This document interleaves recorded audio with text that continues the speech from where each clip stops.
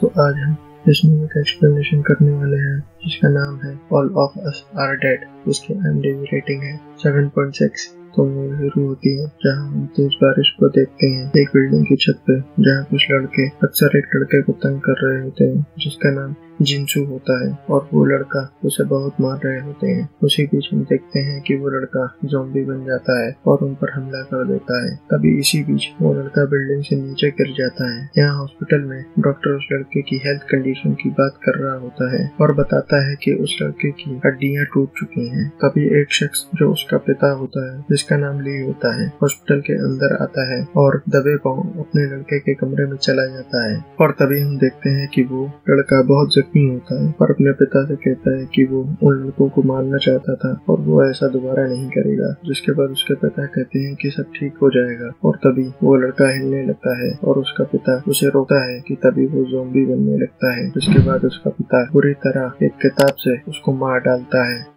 उसके बाद उसका पिता एक लगेज बैग में उसकी बॉडी ले जा रहा होता है। अब हम एक स्कूल का सीन देखते हैं। जहाँ सभी स्टूडेंट्स अपना अपना काम कर रहे होते हैं। उसी बीच हम एक लड़की को देखते हैं, जिसका नाम किम होता है। जो क्लास में आराम कर रही होती है, तभी उसी बीच किसी चीज़ की आवाज़ आती है। वो दरवाज़ा खोल के एक लैब के अंदर जाती है, जहाँ उसे एक बॉक्स दिखता है। वो उस बॉक्स को खोल के देखती है, जिसके अंदर एक चूहा होता है। वो अपना हाथ उसकी तरफ़ बढ़ाती है कि वो चूहा उसे काट लेता है, और वो चूहा काफ़ी उत्साह हो जाता है। उसी दौरान वो प्रोफेसर लैब में आता है, जिसके बाद वो वहाँ से निकलती है। उसकी उंगली पे खून देखकर प्रोफेसर उसे पकड़ लेता है। स्कूल के बाद दो लड़के, जिसका नाम युमसू और चौंग आपस में बात कर रहे होते हैं। चौंग उसे अपने रेस्टोरेंट में चिकन खिलाने के लिए कहता है। उसी बीच उस दो फ्रेंड जिसका नाम ओंजो और आइजैक होता है, जिसके बाद वो सब लोग योंगसू के रेस्टोरेंट जाते हैं। उसी बीच आइजैक कहती है कि साइंस प्रोफेसर के बारे में अफवाह है कि उससे सड़े मांस की बदबू आती है। ओंजो कहती है कि उनके बेटे के गुम हो जाने के बाद वो स्कूल नहीं आए और जिस दिन वो स्कूल आए तो उनसे काफ़ी बदबू आ रही थी और वो अपने बेटे की मौत के बाद काफ़ी अजीब हो गए। स्कूल के स्टूडेंट्स उनके लड़के को बहुत टॉर्चर करते थे। रात के समय इधर स्कूल में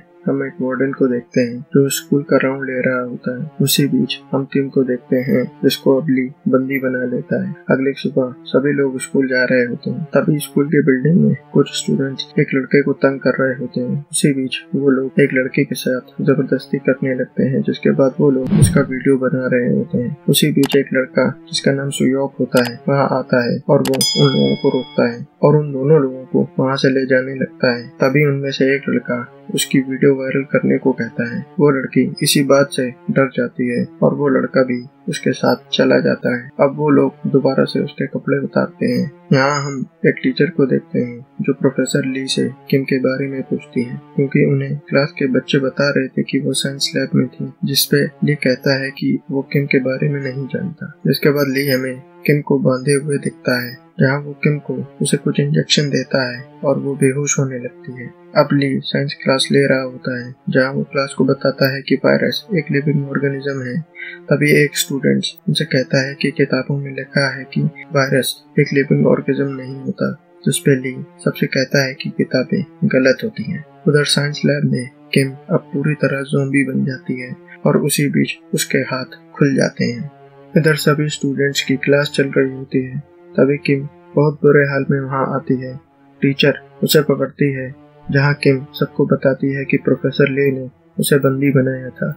टीचर उसे ऐसा देखकर उसे फ़र्स्ट एड के लिए कहती है, जिसके बाद सुयोग उसे अपने ऊपर उठाकर फ़र्स्ट एड के लिए ले जाता है, जहाँ नर्स उसे लेटाती है और उसका टेम्परेचर देखती है, और अब वो तुरंत एंबुलेंस को कॉल करती है।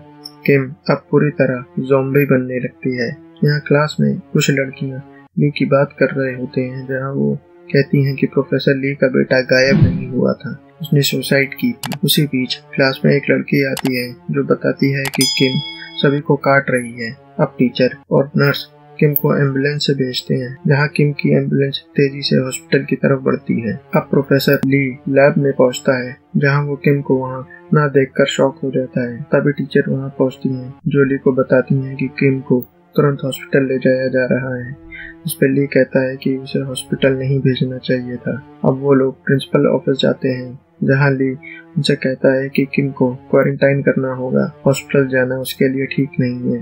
यह प्रिंसिपल उसे कहता है कि आपने अपने बेटे की वजह से सबको परेशान किया है। उस पर ली कहता है कि उसके बेटे को टॉर्चर किया जा रहा था। इसका जिम्मेदार वो प्रिंसिपल को बताता है। ली वहाँ से निकलने की कोशिश करता है कि पुलिस भी वहाँ पहुँच जाती है। उधर फ़र्स्ट एड रूम में हम उस नर्स को देखते हैं, जहाँ किम ने उसे काट लिया था। जिसके बाद वो वायरस तेज़ी से उसके शरीर में फैलने लगता है और उसकी नाक से खून आ जाता है और धीरे धीरे अब वो जोम्बी बनने लगती है। यहाँ स्कूल में अब लंच हो जाता है और सब लोग लंच के लिए बाहर निकलते हैं। यहाँ सुयोग एक लड़की से बात करने की कोशिश कर रहा होता है, जो कि क्लास प्रेसिडेंट होती है। उधर क्लास कॉरिडोर में वो लड़के घूम रहे होते हैं कि तभी उन्हें नर्स का एक जूता मिलता है। वो नर्स को भी वहाँ देखते हैं और नर्स का वीडियो बनाने लगते हैं। और देखते ही देखते वो नर्स उन पर हमला कर देती है और एक लड़के को बुरी तरह काट लेती है, जिसके बाद वो लड़का भी इन्फेक्टेड होना शुरू हो जाता है और एक जॉम्बी में तब्दील होने लगता है और क्लास के स्टूडेंट्स को काटने लगता है। एक लड़का उसे रोकता है कि तभी वो उस पर भी हमला कर देता है। तभी हम स्कूल की छत पे एक लड़की देखते हैं। उसी लड़की को देखते हैं जो सुसाइड करना चाहती है और बाउंड्री पे खड़ी होती है कि पीछे से वही लड़का पहुँच जाता है जो उससे समझाता है कि वो ऐसा ना करे। वो कहती है कि वो लोग उसका वीडियो अपलोड कर देंगे। तभी वो नीचे देखती है तो क्लास की खिड़की से सब बाहर गिर रहे होते हैं और सब एक दूसरे को काट रहे होते हैं। उधर एक जोम्बी क्लास प्रेसिडेंट पे हमला करने ही वाला होता है कि सुयोक उसे बचा लेता है और उसे भागने को कहता है। यहाँ मैस में ओंजो और योंगसू बात कर रहे होते हैं कि तभी वहाँ सभी स्टूडेंट्स भागते हुए आते हैं और मैस के दरवाज़ा तोड़ देते हैं। जिनके पीछे जोम्बी बन चुके स्टूडेंट्स उन पे हमला कर देते हैं और उन्हें खाना चाहते हैं और वो लोग एक एक करके खाने लगते हैं कि तभी एक जोम्बी ओंजो की तरफ़ बढ़ता है। That's all for today's videos video पसंद आया तो लाइक कमेंट एंड सब्सक्राइब करें ताकि आपकी कहानियों का सफ़र यूँ चलता रहे। मैं मिलता हूँ आपसे अगली वीडियो में किसी और कहानी के साथ। Till then keep watching movies magnitude